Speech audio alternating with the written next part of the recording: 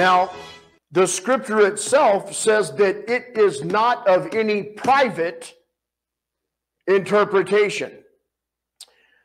It just so happens that embedded in the Greek text, taking it back to Hebrew, the Hebrew mind, it specifically says that we are not to let the thought process of foreigners come into the translation or the bringing across by definition of Yahweh's word.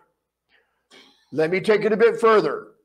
Your Strong's Concordance is full of errors.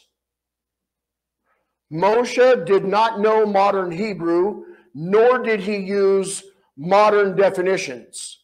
The Brown Driver Briggs is full of the same errors. And I also want to point out it is a known fact that the Strong's Exhaustive Concordance today and the Brown Drivers Briggs that we have today are not the original works of those men.